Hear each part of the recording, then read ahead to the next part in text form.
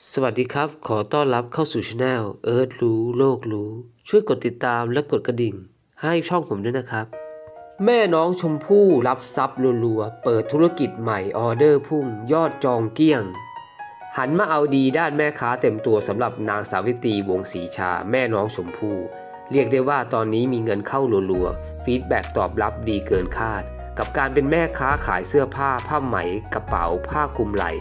กระเป๋างาน handmade จากฝีมือชาวบ้าน งานหัตถกรรมสิ่งทอ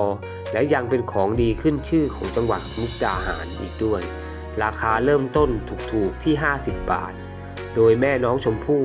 ได้เปิดเพจอย่างเป็นทางการ โดยใช้ชื่อร้านว่า ร้านแม่ชมพู่กกกอก ซึ่งก็มีทั้งการขายหน้าร้านและขายออนไลน์ไลฟ์สดผ่านเพจ Facebook ด้วยตัวเอง งานนี้ได้รับการตอบรับอย่างดี ทั้งมีลูกค้าในประเทศและต่างประเทศ ที่ชื่นชอบกระเป๋าสไตล์พื้นเมือง ในราคาเพียง 990 บาทเท่านั้น ขอขอบคุณข้อมูลข่าวจากหนังสือพิมพ์แนวหน้า